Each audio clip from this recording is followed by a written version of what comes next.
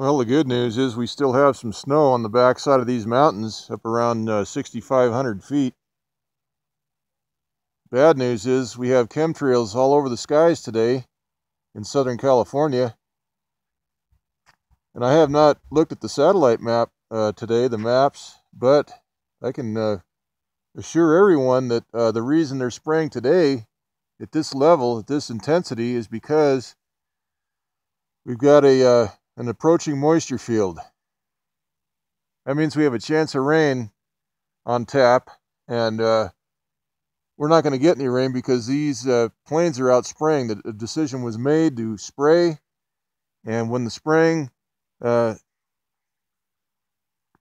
is uh, done in the skies, when they when they spray, here's a fresh one right up here between these trees.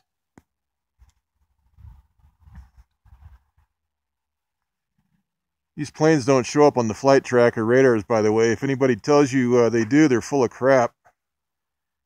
These are military jets spraying this uh, chemical aerosol.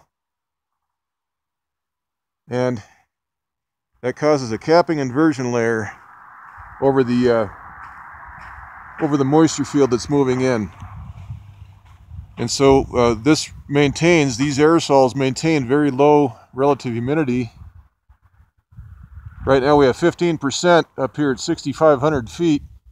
It's the same uh, down in the foothills of Los Angeles. Right now, about 15 to 17%.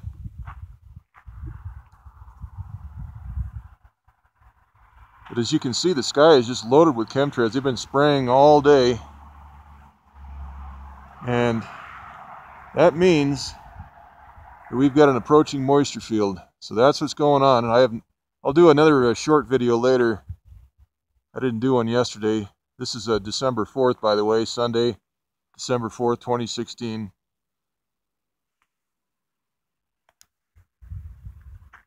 So the uh, warmer temperatures are melting the snow that we got here uh, last time it rained here a week ago.